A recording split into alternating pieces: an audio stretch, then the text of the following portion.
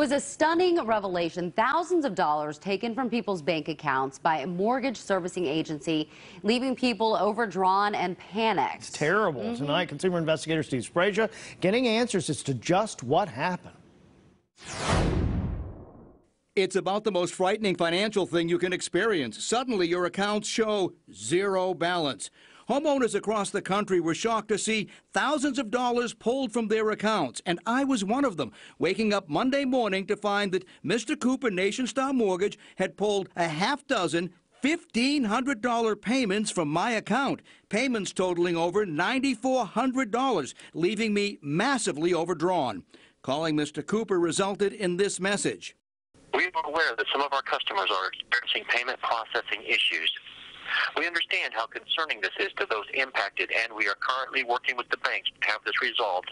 People took to Twitter and raged. With accounts drained, bills to pay, and no money, people were frustrated and venting. The company claimed the victims would be made whole. All unauthorized charges will be corrected and any customers affected will not be responsible for any fees or other negative financial impact this has caused. Though my bank was able to reverse the unauthorized withdrawals, it wasn't instant. It takes time for the system to process updates, leaving me and thousands of others without access to cash. I wanted to know why did it happen? Was the company hacked? And what was Mr. Cooper doing to make sure it didn't happen again?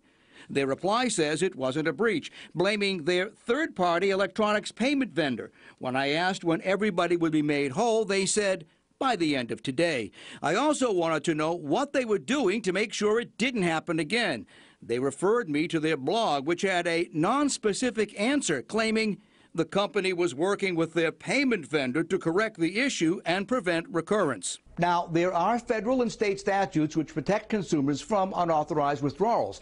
I've been in contact with our Attorney General to find out if it violated any state laws and what the penalty might be. I'll let you know what I find out. Working for you, I'm consumer investigator Steve Sbraccia. And within the past half hour, the Attorney General's office tells us more than 14,000 people in our state were affected by the unauthorized withdrawals.